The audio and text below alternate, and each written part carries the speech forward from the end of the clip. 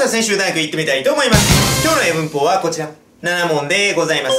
で、もちろん1問ずつ皆さんに解いていただくんですが、その中で出てくる大事な情報がございます。それは授業の一番最後にまとめますからね。ですから、まずは皆さんは問題を解く。そして解説を聞く。そこに専念していただけるとよろしいかと思います。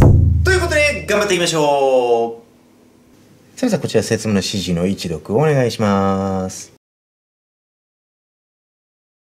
デブさん、問いの1番、お願いします。これよくある問題でございますが、できれば選択肢一発で選んでいただきたいですね。もちろん正解は3番ですよね。これ A に入れていただきますと、彼らはあまりにも消極的すぎて、自分たちのリーダーに対してチャレンジ、意義を唱える。それができません。ということですね。まあ我々どうしてもチャレンジは挑戦すると思わず訳してしまいがちですが、意義を唱えるですからね。それが皆さんこちらの B でいくと、皆さん biggest という形容詞がかかっておりますので、こちらのチャレンジは名詞。で、皆さん名詞の場合は困難な課題という意味ですからね。ですから世界が今日直面している困難な課題ですね。で、そういう意味をご存じない方が多いので結構問われますからね。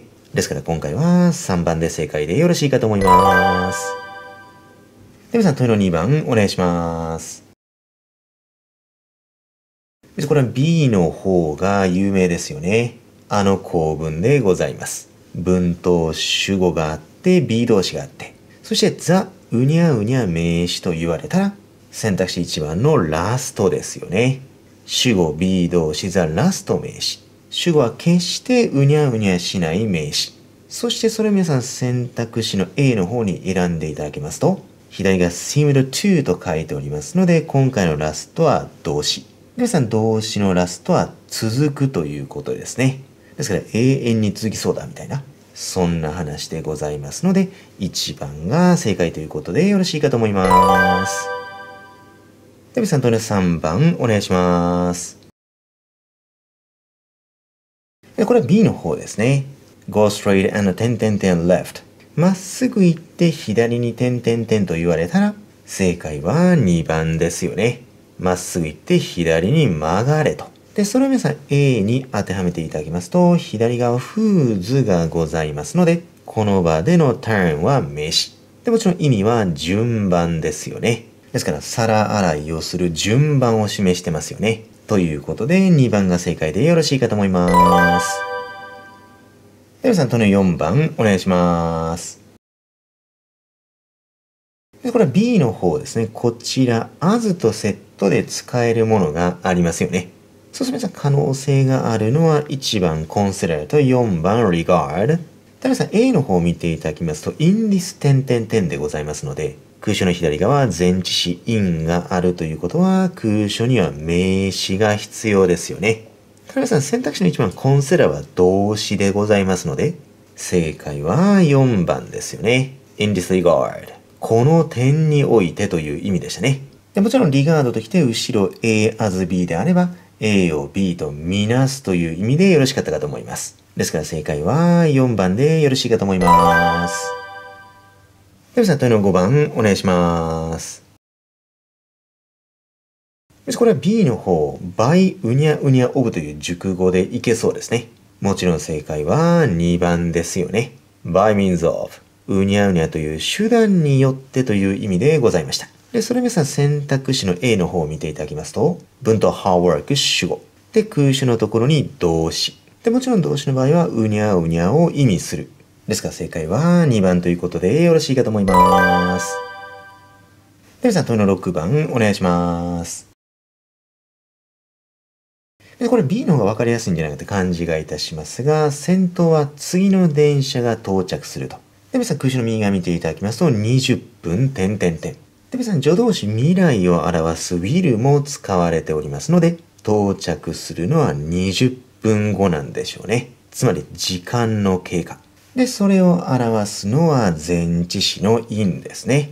で、その in をこの A の方に選んでいただいても、彼は茶色の靴を履いている。着用を表す in でよろしいですね。ですから正解は3番でよろしいかと思います。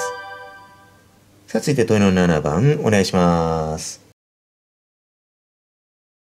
これは A の方ですね。空詞の左が tell。Tell と来たら A from B ですね。A を B と区別する。でもちろん B の方も空詞の左が prevented。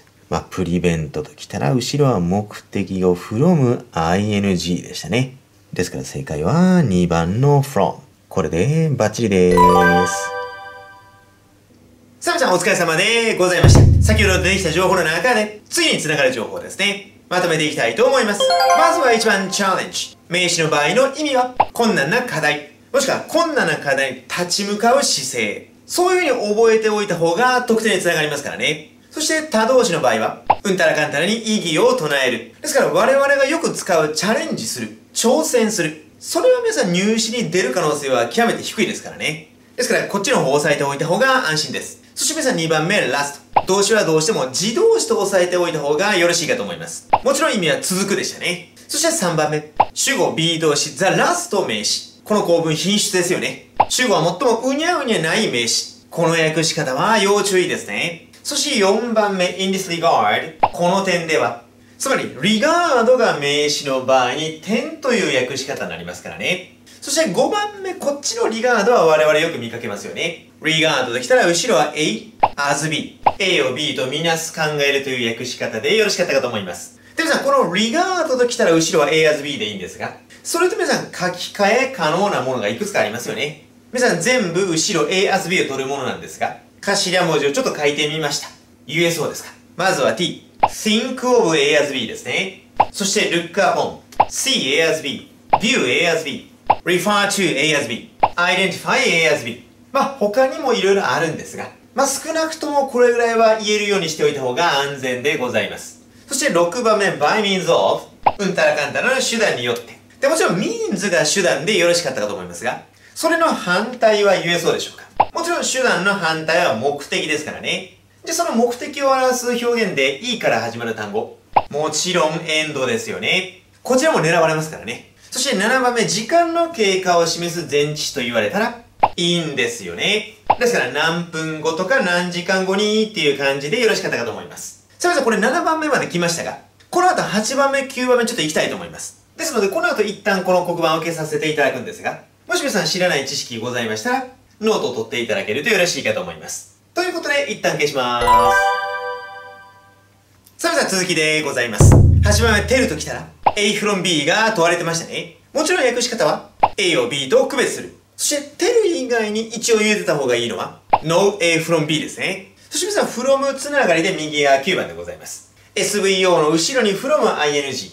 S が原因で O がうにゃうにゃできませんという意味でございました。そして先ほど問われていたのは prevent ですが、やはりこれも同じ形を取る表現ですね。まあこれぐらいは言えてた方がよろしいかと思います。さあ皆さん S で始まる単語は stop、そして keep、さらに discourage。で、ここまでは皆さんご存知の方多いかと思いますが、もう一つ D で始まる表現ですね。dissuade のところまで押さえておいた方が安全でございます。たぶさん、この表現は知らないという方多いかと思いますが、説得してうにゃうにゃさせるという persuade の反対ですからね。で、この二つの単語の右側ですね、共通点ありますよね。ですからそこから皆さんイメージしていただいてもよろしいかと思います。さあ皆さんまとめが終わりました。この画面の情報もそうですが、もし知らないものがありましたら、この後ノートを取っていただいて、で、ノートを取った後はこれですよね。赤シートで隠してスラスラ言える。そこは頑張っていただけるとよろしいかと思います。ということで、参考になさってください。